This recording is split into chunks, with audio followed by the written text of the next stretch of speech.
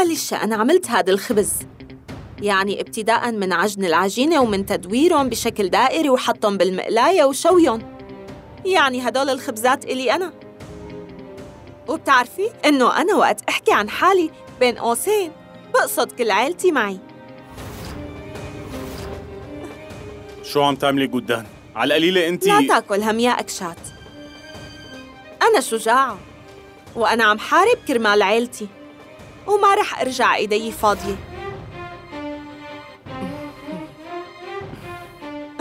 نبلش؟ بدك تلعبي مو هيك؟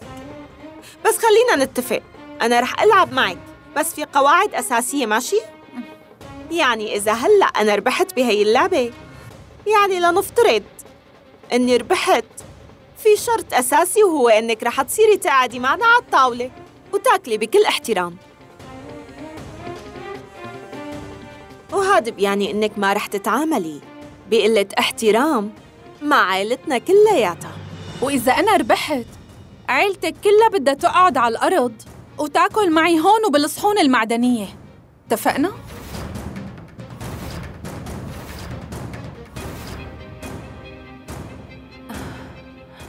ماشي. اتفقنا. اتفقنا.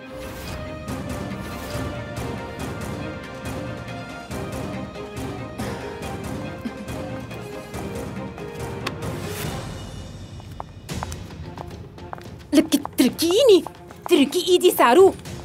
الزمي حدودك معي. أنت رجعتي على هذا البيت بعد كل هي المدة وشكلك نسيانة ولازم ذكرك.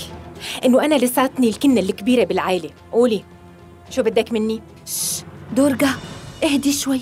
ليش فورا بتعصبي هيك؟ أنا بس كنت بدي أعرف شو اللي عم بيصير تحت مو أكتر. وإذا كنتي مبسوطة فيها. آه؟ فكري فيها دورجا إذا هي البنت بأول يوم إلها عملت مشكلة كبيرة. فتخيلي شو رح تعمل لبعدين؟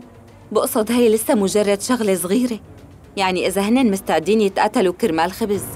معناتها بالمشاكل الأكبر. شو رح يصير بأصغر حماية بالهند؟ أف لا يا حماتي. من الآخر سارسوتي نحن منعرف النهاية. وطبعا مثل العادة حماتي رح تعرف كيف تحط لها حد لإليشا ورح تسكتها على الأخير. وهي أكيد رح تربح وهذا الشيء مفروغ منه. وحماتي قدام ما رح تسمح لإليشا تتصرف في هي الوقاحة. ولا حتى رح تتركها أنها تتعدى حدودها. عم تفهمي ولا لا؟ آه صحيح سارو. في نصيحة إلك. برأيي إنك تخافي على حالك. لأنه عن قريب يا ساراسوتي حماتي قدام رح تعلمكم أنت ورفيقتك إليشا درس بحياتكم ما رح تنسوه.